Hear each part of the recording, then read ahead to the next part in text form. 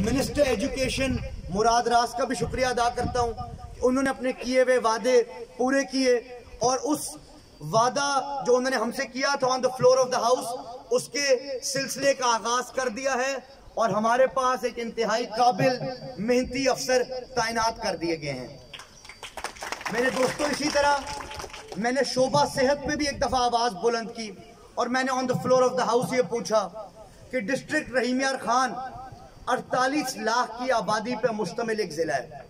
एक यूनियन काउंसिलों पे मुश्तमिल एक ज़िला है। मगर फिर भी हम डिस्ट्रिक्ट हेडक्वार्टर अस्पताल की बेसिक सहूलियत से आज भी महरूम है।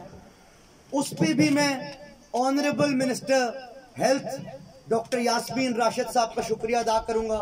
उनको खराज तहसीन पेश करूँगा। उन्होंने हमारे मुतालबे पे एक्शन लिया और हमारे हल्के N A one seven eight, जहाँ से मेरे बड़े भाई मुस्तफ़ा महमूद साहब एमन ने मुंतखब हैं, उन्होंने वादा किया कि शेख जायद टू, एक 500 बेड डिस्ट्रिक्ट हेडक्वार्टर अस्पताल हमारे हल्के में हमें एक तोहफे के तौर पे दिया जाएगा। और हमने उनसे ये भी वादा किया था कि अगर आपको ज़मीन चाहिए, हम आपको ज़मीन भी देंगे, क्योंकि हमारे बुज़ुर्गों की रवायात हैं। अगर आप देखें तो आज बहावलपुर डिवीज़न में अगर सादिक पब्लिक स्कूल है वो मखदूम ज़्यादा हसन महमूद साहब की मेहनत और काविश का नतीजा है। मुझे एक बात ये भी कहने के मैं, मैं खुश नसीब हूँ कि जब मखदूम अहमद महमूद साहब बतौर गवर्नर अपनी खिदमत के फ़रज़ अंजाम दे रहे थे तो उस वक्त के वज़ीर अजम सैयद यूसुफ रजा गिलानी साहब ने मखदूम अहमद महमूद साहब से पूछा कि मैं बतौर वज़ीर अजम आपको क्या दे सकता हूँ?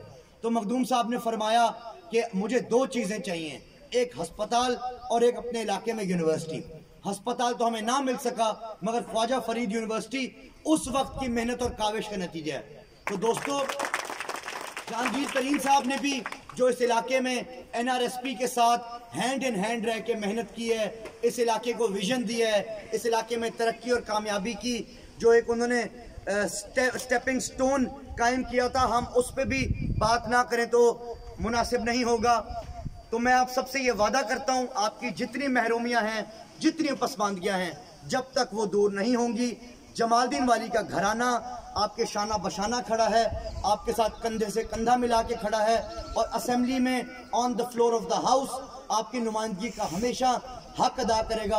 अल्लाह ताला जो आप सबको अपनी हिफ्स अमान में रखे, आप सबको तरक्की और कामयाबी अता फरमाए। बहुत मेहरबानी वसलम